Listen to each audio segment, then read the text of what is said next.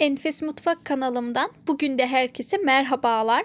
Bugün sizlere alışa gelmişin dışında bir poğaça açma tarifi hazırladım. İster poğaça deyin, ister açma deyin, adına ne derseniz deyin ama hem görüntüsü hem lezzeti şahane hem de oldukça az malzemeli. Buyurun şimdi hep birlikte yapım aşamalarına bakalım.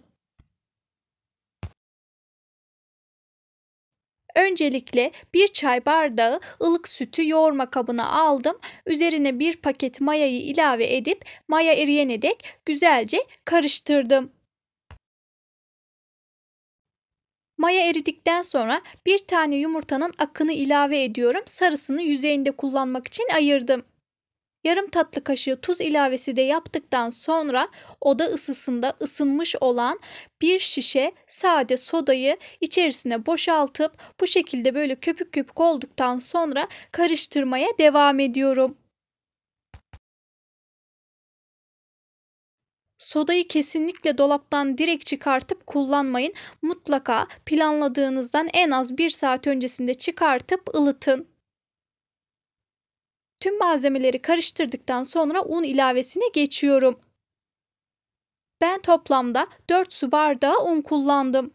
Lütfen kontrollü olarak ekleyelim. Mutlaka farklılık gösterecektir. Hamurun dokusu kıvamı bu şekilde olmalı. Gördüğünüz gibi yumuşacık bir hamur kesinlikle sert olmayacak. Hamur olabildiğince yumuşak, hafiften ele yapışan bir hamur. Çok değil, hafiften böyle sizlerin de görmüş olduğu gibi. Üzerini kapatıyorum. Yaklaşık 20 dakika dinlenmeye bırakıyorum. Yaklaşık 20 dakika kadar dinlendirmiş olduğum hamur gördüğünüz gibi güzel bir şekilde mayalanmış. Hemen maya kokusunun çıkması için hamurun havasını alıyorum. Bu esnada da hamurun yumuşaklığını, dokusunu görüyorsunuz. Toparladığım hamuru un serpmiş olduğum masanın üzerine aldım. iki parçaya kestim. Her iki parçayı da güzelce yuvarlayarak düzgün bir beze haline getirip hazır ediyorum.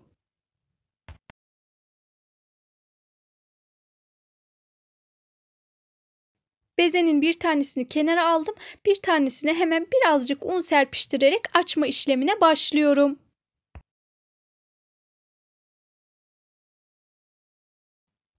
Açarken de hamurun dokusunu görebiliyorsunuz. Böyle baloncuk baloncuk pofur pofur kabarıyor. Oklava ile açmaya devam ediyorum. Yaklaşık 50-60 santim çapında açmam yeterli olacaktır. Öyle tatlı hamuru gibi incecik tül gibi olmasına gerek yok kesinlikle.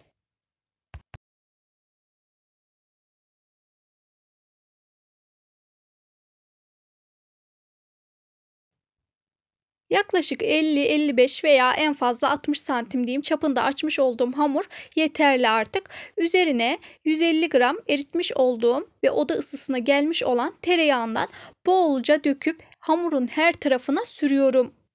Poğaçanın ilk etaptaki önemli püf noktası hamurunun sodalı ve yumuşak olmasıdır. Daha sonrasında ise e, yağlanması da oldukça önemlidir. Hamurun hiçbir yerinde kuru kalmayacak şekilde yağladıktan sonra dörder parmak genişliğinde olacak şekilde hamuru katlayarak bitiriyorum.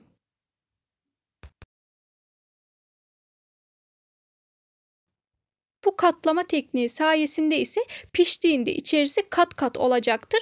Yağın da etkisiyle tel tel dökülecektir.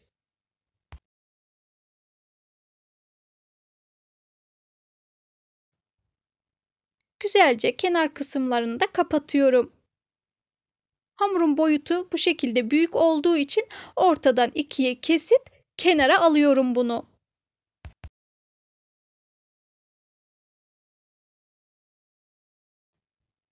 Bir de malzeme listesini yazılı olarak ve ölçülü olarak da videonun altındaki açıklama kısmına eklemiş olacağım. İsterseniz oradan da bakabilirsiniz. İlk bezeye yapmış olduğum işlemleri aynı şekilde devam ettirerek ikinci bezeyi de aynı şekilde hazırlayıp tamamlıyorum.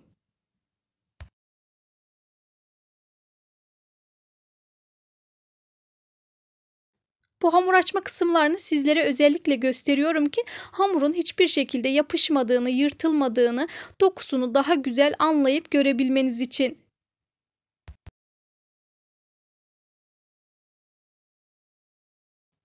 Kanalımda daha bir sürü hamur işi tarifleri bulunmaktadır. Dilerseniz kanalıma girip videolar bölümüne girip oradan istediğiniz videomu inceleyebilirsiniz. Çeşit çeşit yapımları ile börek tarifleri, özellikle de börek tariflerim çokçadır. Çörek, poğaça açma, katmer tarifleri bulabilirsiniz.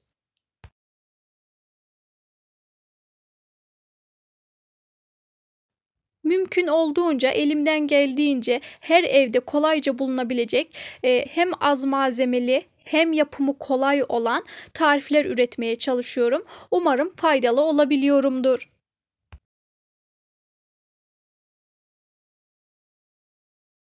Diğer hamuru da aynı şekilde katlayıp tamamladıktan sonra şimdi hamuru tekrar katlamış olduğum hamuru e, ikişer parmak genişliğinde olacak şekilde parçalara kestim.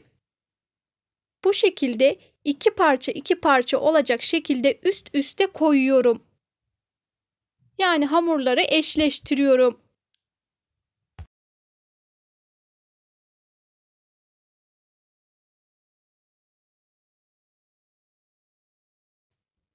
İkişerli olarak eşleştirmiş olduğum hamurlar hemen yumuşak olduğu için elastik bir şekilde iki ucundan hafiften çekiştirip uzattıktan sonra böyle rulo olacak şekilde sarıyorum.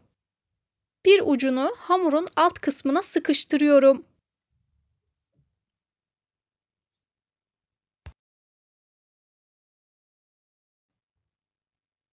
Eşleştirmiş olduğum tüm hamurlara aynı işlemi uyguluyorum. Sizlerin de görmüş olduğu gibi yapımı çok basit. Bu sarma şeklinde ise görüntüsü şahane görünüyor. Daha sonrasında ucundan bastırıp tekrar yuvarlak hale getiriyorum.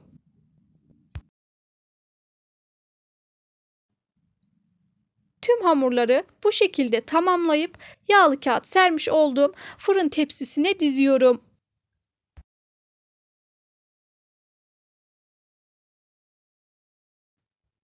Mümkün olduğunca tüm püf noktaları anlatmaya çalışıyorum. Fakat yine de aklınıza takılan herhangi bir kısım olursa bana yorum kısmında sorabilirsiniz. Gördüğümde mümkün olduğunca oradan da yine herkese e, dönüş sağlamaya, yardımcı olmaya çalışıyorum.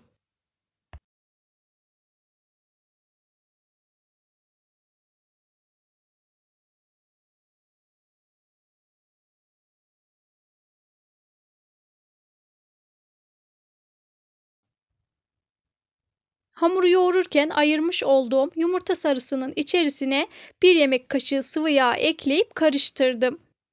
Tüm hamurların yüzeyine bolca ve güzelce sürüyorum.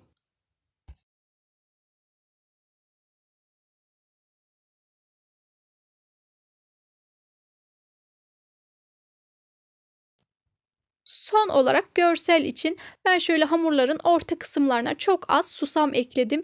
İsterseniz susam, çörek otu, haşhaş vesaire ekleyebilirsiniz. İsterseniz de sade olarak da fırınlayabilirsiniz.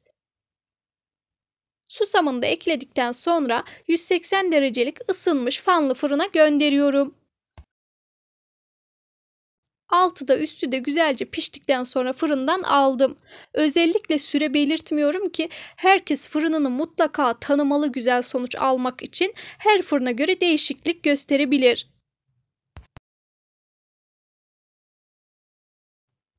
Hemen şöyle bir tanesini alıp sizlere yakından net olacak şekilde hem dokusunu hem iç kısmını göstermek istiyorum.